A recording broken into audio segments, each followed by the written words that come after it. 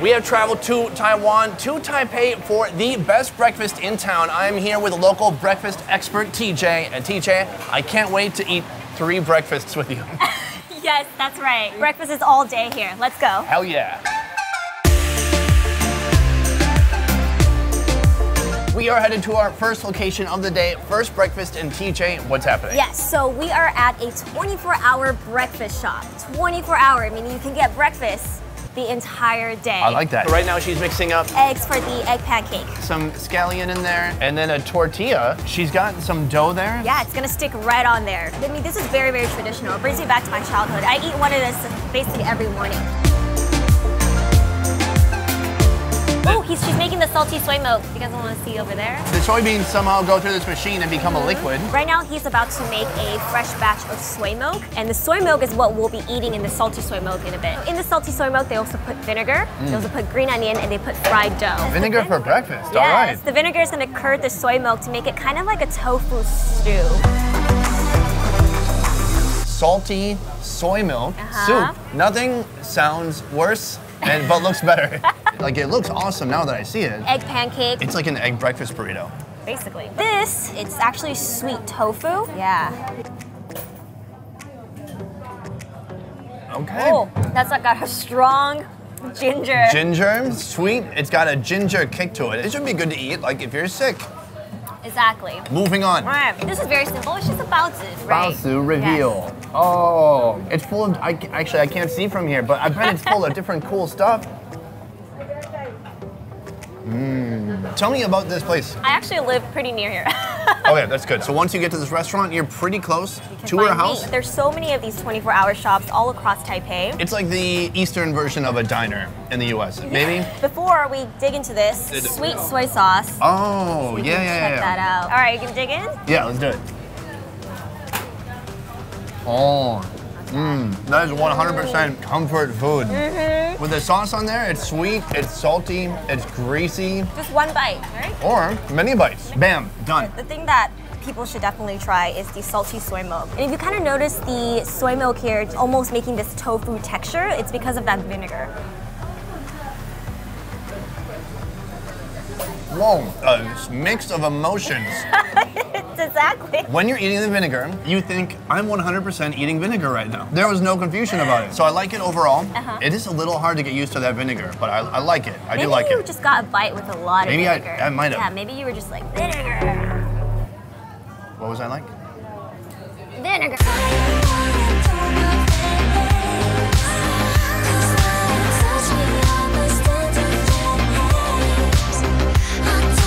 So this particular shop sells two special items. One is the scallion pancake and the other one is jiao tai hezi, which is leek boxes. What is a leek box? We're gonna find out. Let's go see them make it. All right, you're a pretty good host. Intro, done. Let's oh, that's go. it? This is a scallion pancake. Yes, scallion pancake. It looks kind of like a disc of pita bread, It but it's like- stuffed with scallion and what else is inside? It's just green onion in here. You want to see the layer of Yeah, dough right here. freaking beautiful. Yeah, but when you cut it, you kind of lose that flakiness, and it's just Yeah. one giant piece. Okay, right? can you hold this for a second? Yeah, of course. Yeah, yeah, yeah. Oh, you want Let the more just- beautiful one? Yeah, okay, okay, cool. Cheers. See?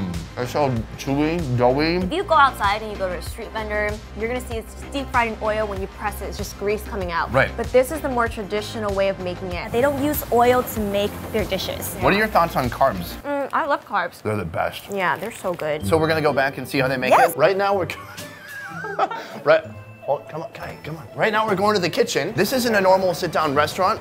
You kind of come here, you pick up your food, you go home and eat it by yourself. This is where all the leek boxes are made. Here we have some bean curd noodles, chives, we have some dried shrimp, and there's just pinches of salt and sugar in here. What did she put in there? Sesame oil. And then they put in an egg. so she says when you add the egg, it makes it stick better. She's gonna finish mixing this.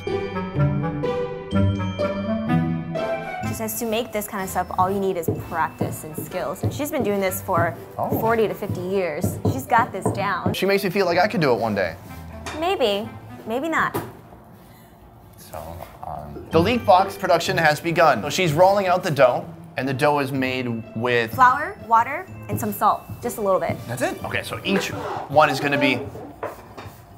Each one is going to be. Com- so each one is going to be completely uniform. Yes. That's a ton of. We're gonna put something. on some of the onion batter. Oh, I got it. I got it, baby. Oh, oh. And then easy, easy. Put it back. Nope. Ah, yeah, yeah, yeah. yeah. You gotta really get your finger in there. You don't trust me? Bam! Look at that. Can I get a bowl up in here? And then this is the big thing right here. We're gonna bowl it. Oh, this lady, she's gonna have an anxiety attack watching this happen. And then, and then, wah! Good? How? Uh-huh. Yes? Yes. Yeah! Pretty good for a tall, a tall guy, right? Yeah, tall guy with eyebrows. So. Next, they're gonna cook it up. I was wondering why they called it a leek box. And then looking at it, it kind of bubbles up into a box shape. Yes. The sweet lady here just folded one in half for us. So I thought you would eat the whole box. Yeah, so most people think they just bite into it, but it's best if you kind of roll it into a little mm, burrito. pretty hot. Yeah, should we All take right. a bite? All right. Uh, let's just do it. Huge. All right, I'm gonna. Oh, it's really hot. Oh, mmm. Mm, 好吃，好吃，好吃吗？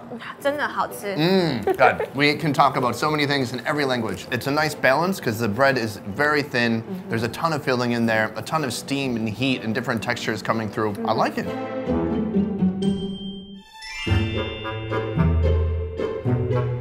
We are headed to location number three, our final breakfast spot for today. Yes, This is called Yonghe Doujiang Dawang. So right over here we have stacks of fried dough, youtiao. I mean, just look at it, it's beautiful. That's what we had at the first place In the today. salty soy milk, yes. But we can also put this oh. between bread, which is what we're gonna get. It's like a bread sandwich. a bread sandwich. A sandwich yes. with more, even more bread. Nice flipping skills. Barehanded.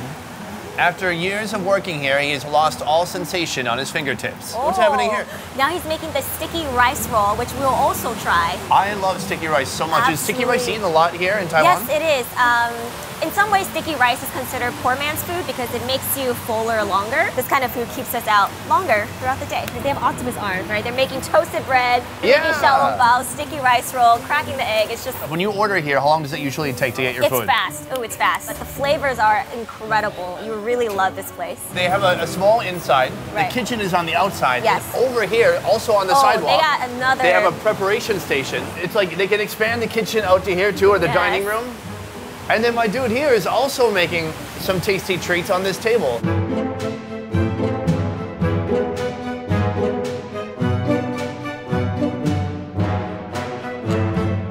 We just got these right out of the oven. They're toasty, hot, They're and called crisp cake. it smells toasty, a little bit peanutty. Should we try it out? Yeah, let's do it. Here we go. Mm. Oh, hot. They're really hot. It's great peanutty, sugary Yes. kind of filling caramelization inside. Take a peep, guys. That is some hollow bread. And you just wouldn't think, like, it used to be flat, and now it's not flat. How did they do it? Straight out of the oven. We got really lucky. I think the coolest part of this for me is it can be really daunting in a new country. You walk in, you see that menu, and you're like, ooh, I definitely don't know any Chinese. And then you just walk out and go to 7 Eleven and eat another hot dog. So right over here we have the sticky rice roll. That's the only thing that has some protein on it because it's got some egg. This is literally a bread sandwich here. Yes, fried dough, and outside is a crispy sesame flatbread. And right over here, you guys, we have the turnip cake, also called the radish cake. I actually just had this yesterday. Something you guys are probably all familiar with, the xiaolong bao or the pork dumpling. They put just a huge A huge bucket of drum sauce. of sauce right on the table. I love That's that. it, yes. Should we go for it? We're gonna yeah, give it a little dip. Go, yes, go in. Dip, dip, dip. Let's go for it.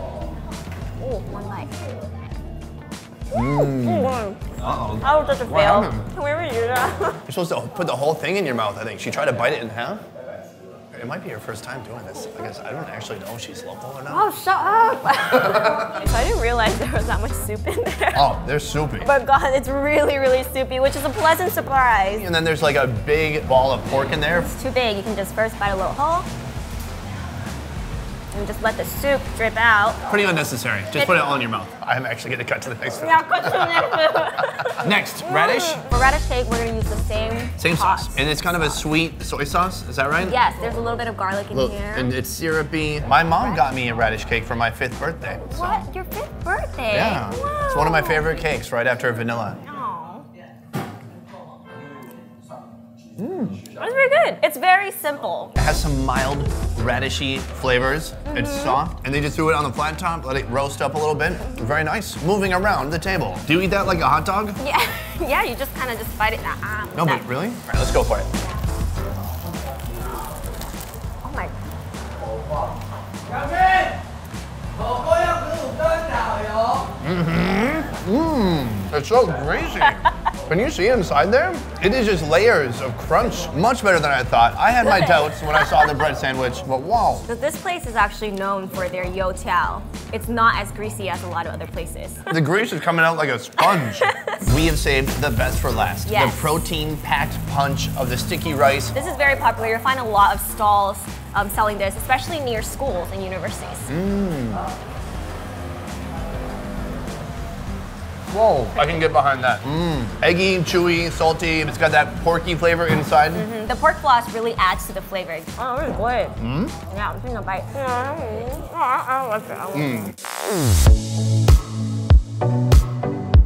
Taiwanese breakfast, you don't eat it during lunch, you can eat it for dinner. It really is an all-day thing. We don't really see it as breakfast, even though we love it in the mornings. It's just nonstop, always moving, always cooking, Yep. and feeding all these happy, content people. Oh, she just fed him a bite. They look very happy. Oh, you don't need to Do show. you want it?